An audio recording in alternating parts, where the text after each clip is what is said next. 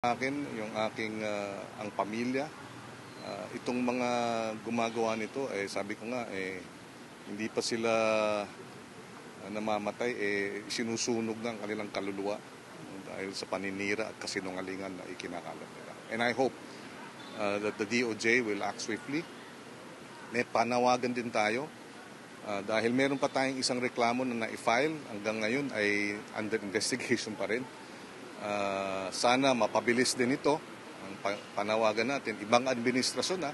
So sana, ah, kasi na-file yun ah, bago pa nung ah, ah, current administration. So sana under this administration, eh, yung isang ah, kaso na sinampa natin, dalawa na ito, ay gumulong na, kaya mapabilis. Ah, pinag-aaralan din natin dahil ah, napansin natin dito sa mga YouTube channel na ito, may mga TV ads, may mga commercial, hindi TV ads, sorry, may mga social media digital ads advertising. No? Ah, mga kumpanya ito, mga kilalang kumpanya.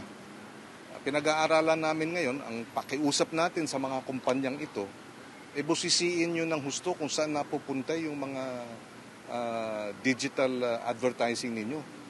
Dahil ah, kung ito ay napupunta sa mga channel na nagkakalat ng ah, libel, pwede silang maging ah, ah, liable for ah, moral damages.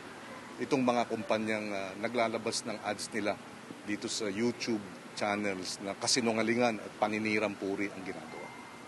Sir, si Bungangera, na-identify niyo ba?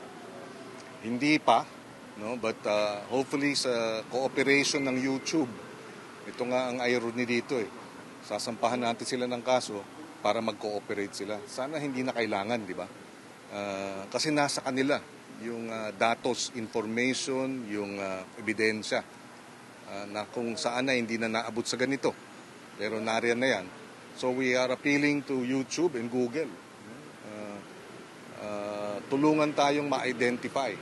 Of course, the NBI, uh, the Cybercrime Division ng DOJ, they have the capacity, they have the technology. So, uh, panahon na lang uh, ang uh, binibilang para malaman yung mga tao sa likod nitong uh, uh, mga yung channel na ito at mga video. Over 400 ang kanilang uh, videos na uploaded. No? So talagang uh, uh, ito eh hindi backyard operation at uh, million ang nag-review sa kanila. So panahon na lang at malalaman natin itong mga uh, involved dito sa panin- pagsisinungaling at uh, cyber uh, crime uh, ng libel.